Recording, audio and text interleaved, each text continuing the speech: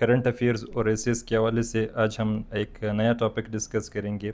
ہمارے آج کا ٹاپک ہے e commerce a road map for novel global business and economic growth تو بڑھتے ہیں اس کے آؤٹ لائن کی جانب۔ سٹارٹ ہم لیں گے انٹروڈکشن سے۔ انٹروڈکشن میں ہم ای کامرس کی سگنیفیکنس کے حوالے سے بات کریں گے۔ سیکنڈلی ہم اس میں یہ ڈسکس کریں گے کہ ای کامرس جو ہے as a catalyst for global business اور اکنامک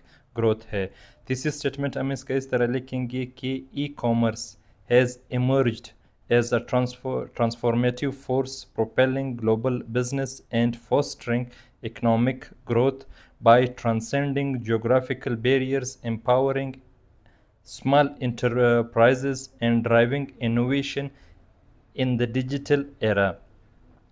ہمارے سیکنڈ پیراگراف میں ہم ڈسکس کریں گے the evolution of e commerce اس میں ہم لکھیں گے historical background of e commerce and its early beginnings secondly ہم اس میں ڈسکس کریں گے technological advancements that facilitated the growth of e commerce lastly ہم اس میں ڈسکس کریں گے transition from traditional commerce to digital commerce ہمارے تھرڈ پیراگراف میں ہم ڈسکس کریں گے e commerce transforming global business کہ کس طریقے سے ای کامرس گلوبل بزنس کو چینج کر رہا ہے۔ Global reach and accessibility of e commerce platforms overcoming geographical barriers and expanding customer base last ہم اس میں ڈسکس کریں گے opportunities for small and medium sized enterprises to compete as a global on a global scale further ہم اس میں discuss کریں گے کہ ای کامرس کے اکنامک امپیکٹ کون کون سے ہیں job creation and deployment opportunities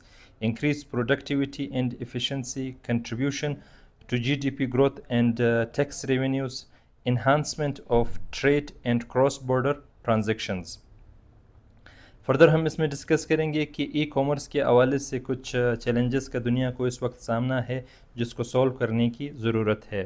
پہلا ہمارے پاس ہے security and privacy concern second ہمارے پاس ہے سائبر کرائم اور فراڈ پریونشن تھرڈ ہم اس میں ڈسکس کریں گے digital divide and accessibility issue اور لاسٹلی ہم اس میں ڈسکس کریں گے regulatory framework and consumer protection measures کی ضرورت ہے۔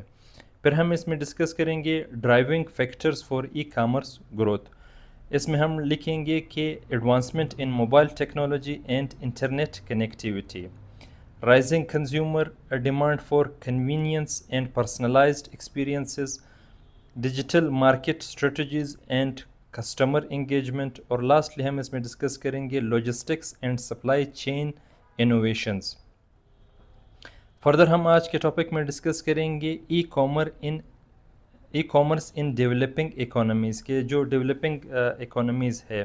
ان کو ای کامرس کس طریقے سے امپاور کر سکتا ہے۔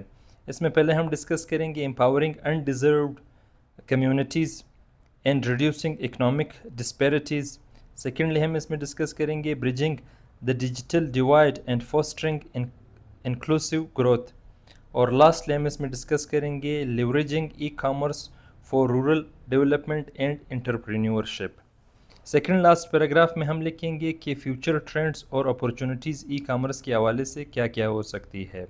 اس میں the rise of artificial intelligence and machine learning in e commerce blockchain technology and secure transactions augmented reality and virtual reality in online shopping experience sustainable e commerce practices and green initiative اور سب سے آخر میں ہم لکھیں گے کنکلیوژن تو بڑھتے ہیں ہمارے انٹروڈکشن کی جانب. انٹروڈکشن میں ہم لکھیں گے کہ ڈیجیٹل تھریڈز سے جڑی ہوئی دنیا میں ایک انقلاب جاری ہے.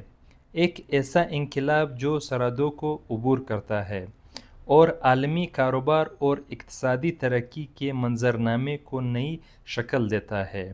یہ ای کامرس کا عروج ہے۔ ایک نہ رکنے والی طاقت جو صارفین اور کاروبار کو جوڑے رکھتی ہے، جیسا کہ پہلے کبھی نہیں تھا۔ چھوٹے کاروباری اداروں کو با اختیار بنانے سے لے کر ترقی پذیر معیشتوں کو تبدیل کرنے تک ای کامرس لامحدود امکانات کا ایک نیا روڈ میپ ہے۔ آج کے ٹاپک میں ہم ای کامرس کی ٹرانسفارمیٹیو طاقت اس کی معاشی اثرات، اس سے درپیش چیلنجز اور اس کی ترقی کے عوامل اور مستقبل کے رجحانات کو ڈسکس کریں گے۔ تو بڑھتے ہیں ہمارے سیکنڈ کے پیراگراف کی طرف۔ سیکنڈ پیراگراف میں ہم لکھیں گے کہ ای کامرس کی جڑیں۔ نائنٹین سیونٹی میں الیکٹرانک ڈیٹا انٹرچینج کی آمد سے جڑی ہوئی ہے، جس کی مدد سے الیکٹرانک ڈاکومنٹس کو ایکسچینج کرنے کا موقع ملا۔ تاہم نائنٹین نائنٹیز کی دہائی میں انٹرنیٹ اور تکنیکی ترقی کا عروج تھا، جس نے حقیقی معنوں میں ای کامرس کو آگے بڑھایا۔ محفوظ آن لائن ادائیگی کے نظام کی ترقی اور امیزون اور ای بے جیسے مقبول ای کامرس پلیٹفارمز کے قیام کے ساتھ دنیا نے روایتی کامرس سے ڈیجیٹل کامرس کی طرف نمایاں تبدیلی دیکھی۔ ہمارے تھرڈ پیراگراف میں ہم ڈسکس کریں گے کہ ای کامرس کی مدد سے آپ دنیا کے کسی بھی ملک میں کاروبار کر سکتے ہیں۔ کمپنیاز مختلف ممالک کے صارفین تک پہنچ کر اپنے کسٹمر بیس کو بڑھا سکتی ہے۔ جیسا کہ امیزون میں دنیا کے ایک سو دو ممالک سے لوگ آن لائن کاروبار کر رہے ہیں۔ فردر ہم اس میں لکھیں گے کہ ای کامرس کا معیشت پر بہت بڑا پوزیٹیو اثر ہے۔ اس کی مدد سے لوگوں کو روزگار کے مواقع ملتے ہیں۔ کام میں افیکٹونیس اور ایفیشنسی آتی ہے۔ کاسٹ ریڈیوس ہوتا ہے اور ٹائم کی بچت ہوتی ہے۔ اس کی مدد سے کوئی بھی ملک بہترین ٹیکس کلیکٹ کر سکتا ہے اور اس کی ریونیو بڑھ سکتی ہے۔ ای کامرس کے بے پناہ فائدے ہیں، مگر اس کے ساتھ ساتھ اس وقت دنیا ای کامرس کے حوالے سے کئی چیلنجز کا سامنا بھی کر رہی ہے، جیسے سیکیورٹی پرائیویسی سائبر کرائم اور ڈیٹا بریچز ان مسائل کو ٹیکل کرنے کے لیے ربوسٹ سیکیورٹی میئرز کی ضرورت ہے۔ اس کے ساتھ انکرپشن ٹیکنالوجیز اور سخت ریگولیٹری فریم ورک کو اپنانے کی ضرورت ہے۔ فردر ہم اس میں ڈسکس کریں گے کہ کافی فیکٹرز ای کامرس کی گروتھ میں اہم کردار ادا کر رہے ہیں۔ جیسے موبائل ٹیکنالوجی اور انٹرنیٹ کی مدد سے کسٹمرز کسی بھی ٹائم کسی بھی پلیٹ فارم کو استعمال کر سکتے ہیں۔ ای کامرس ترقی پذیر معیشتوں کے لیے منفرد مواقع پیش کرتا ہے۔ یہ محروم کمیونٹیز کو بااختیار بنا سکتا ہے اور معاشی ڈسپیرٹیز کو کم کر سکتا ہے۔ اس طرح کی اکانومیز میں ای کامرس کی مدد سے روایتی رکاوٹوں کو دور کر کے عالمی منڈیوں تک رسائی حاصل کی جا سکتی ہے۔ ای کامرس گلوبل بزنس کی تشکیل دینے کے لیے تیار ہے۔ توقع کی جاتی ہے کہ آرٹیفیشل انٹیلیجنس اور مشین لرننگ کاروباری کارروائیوں کو بہتر بنانے میں اہم کردار ادا کریں گے۔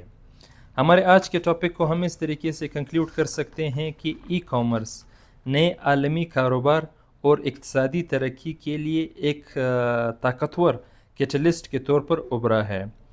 اس کی تبدیلی کی نوعیت جغرافیائی رکاوٹوں کو عبور کرتی ہے۔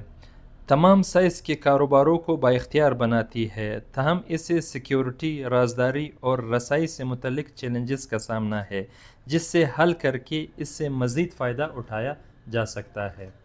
تو تھینک یو دوستو۔ یہ تھا ہمارا آج کا ٹاپک اس طرح کے امپورٹنٹ ٹاپکس انشاءاللہ وقتاً فوقتاً آپ کے ساتھ شیئر ہوتے رہیں گے. اللہ حافظ، اپنا خیال رکھیے گا.